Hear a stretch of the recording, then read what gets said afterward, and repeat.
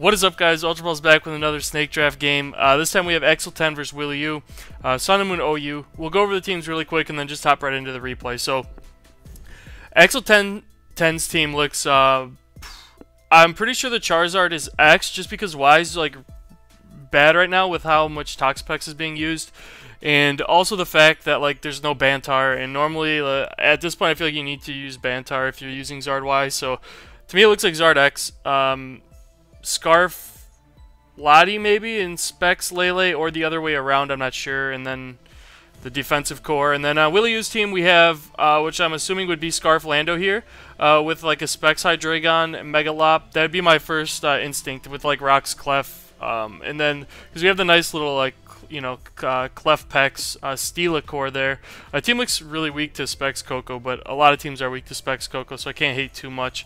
Uh, so yeah, we'll hop right into the replay here. We see the Landers lead. U turns out, like I said, I'm pretty sure that this is going to be Scarf, but I guess we'll see. The Clefable should get up rocks, and now Willie Use uh, should also get up rocks with his Clef.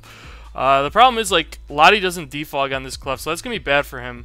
He goes hard Zard, which is weird. Uh, yeah, because like I said, I thought it was X based on the team, and Willie Willie U reads that as well and just goes for the Toxic. this is a good play on Willie U's part. Um, Axel 10 was just banking, or like hoping that Willie U expected Y and went hard into Pex. Uh, but yeah, I, like... I, I feel like if it was like Flamethrower Clef lived one anyway, if it would be Zard Y, so like I get Willie U's play of staying in, uh, especially if you don't know if it's X or Y. You don't want to risk the Pex because Pex is super good. Uh, so this game. So yeah, uh, he goes Latios, and we'll see if this is like Scarf or what kind of Lati this is. I actually kind of did a lot. So it's either like Fizdef Steela.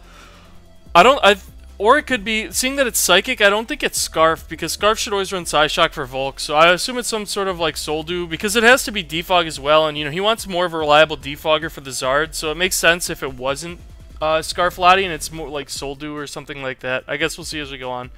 Uh, so this Steela, so yeah, Axel 10 wants to knock off the Steela immediately. Uh, help with his Lottie, I'm assuming. Uh, Willie, you could stand and get a lot of damage on the Clef, but I don't think it's worth the knock. So he lets Pex get knocked off a Sludge. Or wait, do we? Oh, we already missed it. I think it already got knocked. It was um, it was Shed Shell. That's right. That's right. He lost his Shed Shell before.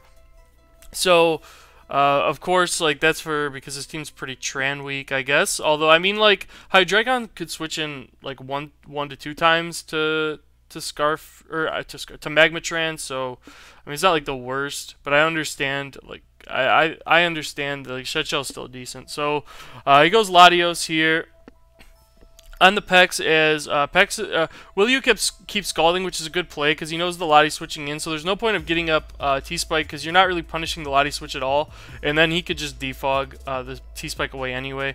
Uh, so now uh, Steel is in. So I'm sure Axel 10 here. He doesn't. I don't know. Like he doesn't want stuff to get leached, but like. I don't know what your better play is rather than just going Zard. Um, I guess you could go into your own Steela, but like something's getting leached.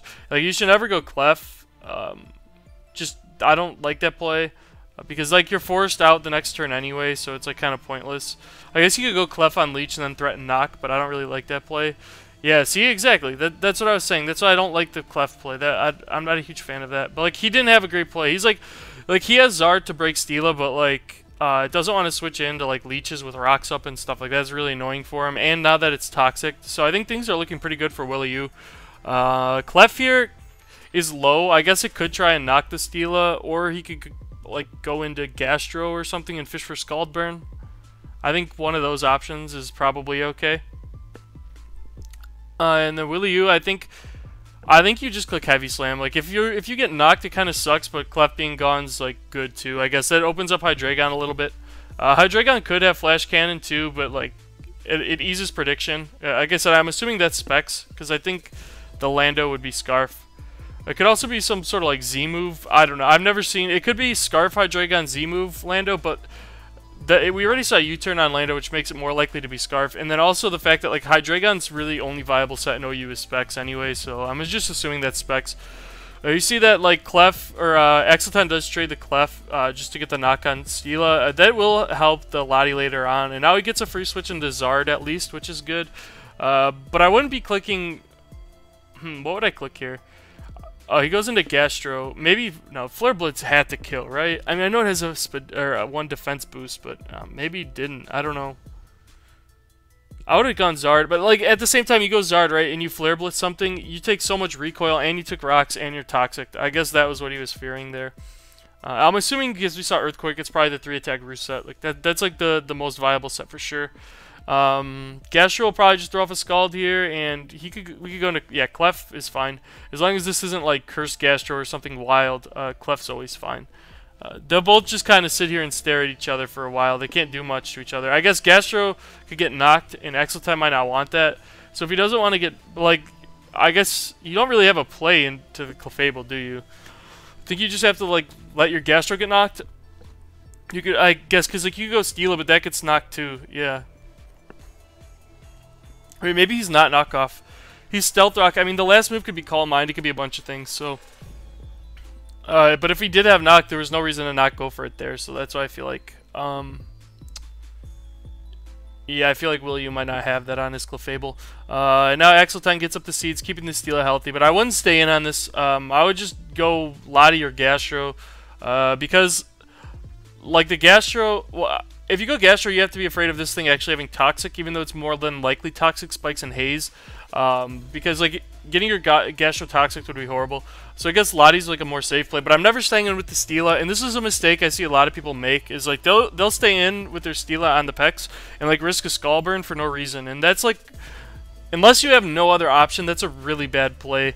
Um, because as soon as your Steela gets burned or knocked off, it becomes, like, I don't want to say useless, but it's like so much harder to keep it healthy if that if you get either burned or knocked. So yeah, quick tip: never, never, ever, ever leave your Steela into a scald. Um, and I, I make uh, like especially on ladder, people do that all the time, which did, and they don't even do anything productive. They just like heavy slam for like 10% or something. It's just like a bad play. Um, all right, so we see a test here. Was, who is the, oh Willie U's like having some issues with the internet maybe. Um, got 20. Hopefully we don't. Uh, hopefully we don't see a timeout here. That'd be really unfortunate because I think Willie U's in a pretty good spot at this point. A lot. He's probably just gonna psychic again. Yeah, and the, that did a kind of a lot. Um, I'm sure that Will you will know by the damage what kind of Lottie this is now. I don't know the calc off the top of my head. Uh, there's a that could be like Soul Dew.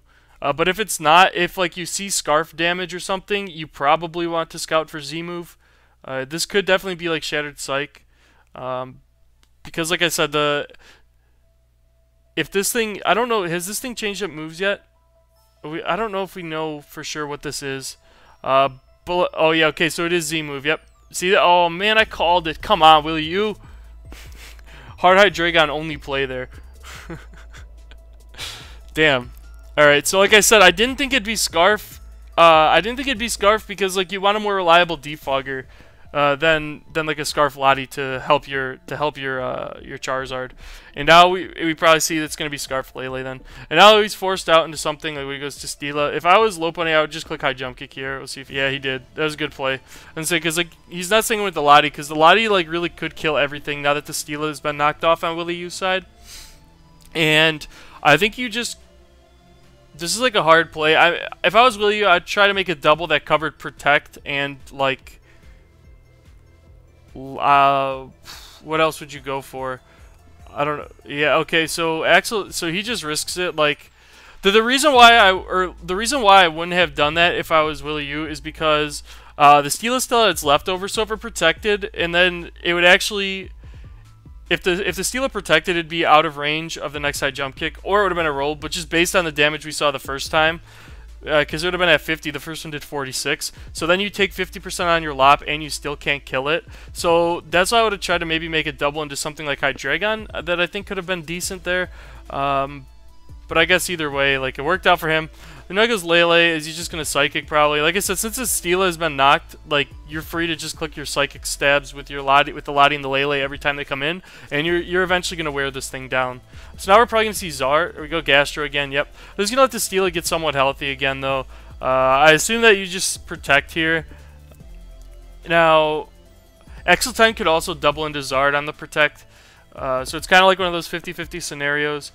But like I feel like I feel like Willie's in a spot where he doesn't need to risk getting scald burned. He could just click protect, and he's still in a decent enough spot regardless. So I think if I was Will you, I'd probably just click protect here. And if I was Exo 10, I'd probably make an aggressive play into Zard. Uh, so we see a Hydreigon uh, onto the Zard. Uh, but like the thing is, like this, yeah, there's no way this Hydreigon is definitely spec. So this doesn't even really work out for Will you because, um, yeah, because now Zard can just uh, click Dragon move. Uh, does a, that does a lot to Pex. I, I think based on that, that's like fully Spadef um, Toxapex, which of course is like a thing. Like but I still like to run a little bit of Def, even on my Spidef. Like, obviously all my pecks are Spadef at this point, but uh, I like to run some Def still. But that did a shit ton, which made me think that it was probably like max Spadef. Uh, so now we see uh, to into Scarflander on the Dragon Claw. That was a good uh, good play by Willie U. So Willie U could either Earthquake or U-turn here. The problem is if he U-turns, it's not going to kill the Zard, and then uh, he's got to risk something else. Although if he does U-turn right and the Zard stays in, okay, yeah, he did. Axel 10 made the aggressive play, which is something I think he had to do here. Um, you could go, but now he's at minus one, so we could just go into Pex. Yep, yeah, because now that he's at minus one, the Earthquake's not going to do that much. So, uh, and the Charizard's toxic, so it's eventually going to have to be, it's ev eventually forced out. And it's going to be coming back in super low now with uh, with hazards up, with rocks up. So unless he could defog with the Lottie, the Zard is like been pretty much uh, neutralized for the rest of the game, I think. I think if you're Willie U, you just throw off another Scald um, on the Lottie. Yep. Because, like, oh, he throws up a T-Spike this time. But like I said, now Lottie has a chance to defog if it wants. Uh, but at the same time, Axel 10 might need to keep this healthy. So you might see a Recover come out. Uh, or Roost or whatever he has. Because, like I said, we or like we already found out this was Z-move Lottie. Uh, so he does just Psychic on the Steela. Obviously, uh, there, of course, Willie was trying to catch him on Defog or Recover. So I think that was a good play by Exo 10. The problem is the Lottie's getting getting really low now. And this was like one of the main mons that could really um, put pressure on Willie U uh, that he has left. So this does open up uh, Lele, however, but because the Lele is Scarf, like it has to either lock into Psychic move or um, or Fairy move, and then Willie U still has answers to both of those, so he could take advantage of whatever Willie U locks itself into. So here you see frustrations. We see the sack of the Zard. Now Lele comes out. Um, I think Willie U's best play is to sack the Lando here. Uh, Lando is already uh, weakened, uh, took a hit from the Zard, and um, at this point, I think you still need to keep the other stuff for sure. Because, like for example, let's uh, you're keeping Lopunny for sure because it's like because it deals with uh, both Lottie and Gastro. Uh, the thing is, like, okay, so if you set, if you try to like predict what the Lele is going for, right, and you predict wrong and you lose either Pex or Hydreigon, then you lose to the Lele.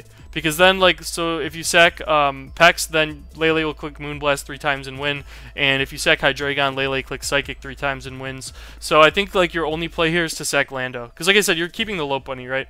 Uh, and if I was Exo 10, I'd probably click Moonblast.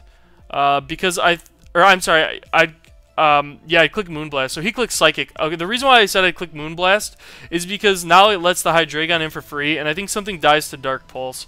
Uh, where at least if you click um, if you click Moonblast, right, it forces in Pex, and you don't necessarily lose a Mon that way.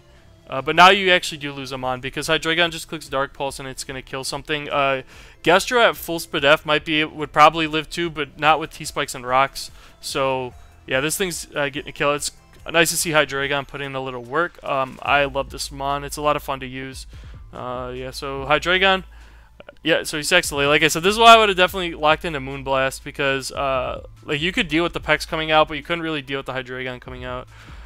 To be fair, he couldn't really deal with the Pex coming out either because this Lottie is weak or is weakened as hell. I didn't realize how low it was. It actually would have probably it would have died to Scald plus Burn. So I don't know. I guess he was kind of forced into a bad position anyway. He would have had to like gone Gastro on the Pex, but then the Gastro gets poisoned. So we see Pex come out. Uh, that was on because you weren't gonna. You were definitely worth Psychic moving the Hydreigon. So I agree with that play. Now let's see what the Lottie does here. Um, the Lottie has a couple options. He could try and recover or roost, uh, which would be a fine play on his part. But then you risk uh, Will you going like hard into Lop. But at the same time, I definitely don't think he would go hard lop and risk that because that's the mon that he needs to like take care of Gastro now that the T spikes are cleared from the field. So I guess like Gastro still has somewhat of a shot if he could like dodge high jump kicks or something. Yeah, I don't know like even like Max Spadef, I don't even, which is normally what they run to check gear and Coco and stuff like that. I don't know if that would even be able to live uh, two like returns or I think it was frustration that Willie had. I don't think uh, he would be able to live two of those anyway, or it'd be like a roll. Um, but yeah, definitely wouldn't take high jump kicks regardless. So he's in a tough spot though because he still does need that mon. He he needs both of these mons. Um, but like if Willie U goes hard lop on like a recover or roost, um, he'd be in a really bad spot. But yeah, like I said, Willie U's probably not going to risk that. Uh, the Latios is getting healthy, and now you can either defog or try and okay, he roosts again. Uh, but now you threaten Hydreigon with uh, Draco Meteor. Uh, but he did get the Latios healthy, which is nice. But yeah, I don't think this necessarily matters because uh, Willie U could just sack this and then win with Lopunny, I believe. So I think like sacking Hydreigon's fine. Um, like his play, like he had the safest. He he kind of is taking the safest route to winning the game. And like I said, it might still come down to the Lopunny having to hit like a high jump kick on Gastro or something, or risking a Scald Burn. Like those couple things might be happening, but uh, he gave himself a really good chance to win uh, without like massive hacks. So Lopunny comes out. It already showed Fake Out, I believe. So I think what you're either going to see is, did it show Fake Out? I don't remember. I think it. I think it faked out before. Well, if it did, he should yeah, I think it like you fake out now on the Lottie and then you return it, and I think like fake out into high jump kick would kill the the Gastro with poison damage. Uh, so I think your play would always be fake out there, or even if fake out into high jump kick didn't kill the Gastro, it would mostly kill it, and then you're still kind of risking a Scald Burn though, so it's kind of risky too. But yeah, he just stays in on the um, fake out, and now this uh, the Latios dies, and now Gastro shouldn't be able to win. Like like I said, here if like Lop like I guess Willie going to calc and see if he needs to hit high jump kick or not. Um, if he returns and gets burned, though, then the Gastro could actually win the game. It could probably stall out the two Mons. Uh, but if you high jump kick and connect, then the Gastro will probably still be in range of return, even after a burn. So I think, like, 10 has to go for... Assuming this is just, like, Toxic uh, Scald EQ. Like, he's going to have to go for Scald Burn here, but yes, he's, so, like, even if he gets the burn, it doesn't matter, which is why Willie went for uh, went for high jump kick there. So I agree with that play. But, like, if he missed high jump kick there, he actually could have lost. Uh, but, yeah, that was a really well-played game by Willie. It was pretty flawless all the way through. Uh, so congrats to him on picking up the win. Um, yeah, if you guys enjoyed this game, like, comment, subscribe to my man Rich, and until next time, Ultra Balls out. Peace.